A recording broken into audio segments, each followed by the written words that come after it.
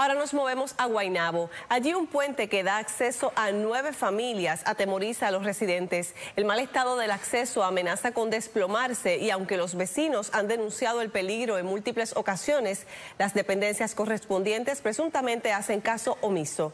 Caliester Toro los visitó y tiene los detalles. El temor de nueve familias del sector Los Meléndez del barrio Río en Guaynabo día a día incrementa.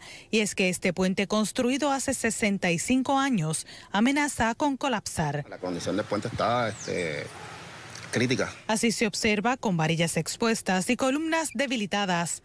Hemos hecho miles de esfuerzos en la alcaldía, en el municipio.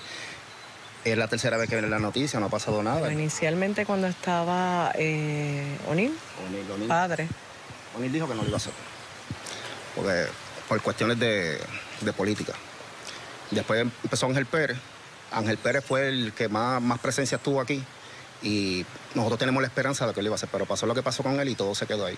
El acceso fue edificado por el dueño original de la finca localizada al otro lado del río y su deterioro ha incrementado con las crecientes del cuerpo de agua. Estamos en temporada de huracanes y el agua, cuando el agua se mete hasta acá, cuando ese río este, crece. En la comunidad abundan los ancianos y en caso de emergencia quedarían sin la ayuda. Una ambulancia no puede pasar el puente, una emergencia ustedes se quedan atrapados. Exacto, sí. Eso, eso, es cierto. El llamado fue de asistencia, al menos con un acceso alterno, pues ni siquiera tienen el servicio de recogido de basura. En declaraciones escritas, el alcalde de Guaynabo, Edward O'Neill, alegó que su administración está en la etapa de diseño de los trabajos para hacer un puente y una carretera segura para la comunidad.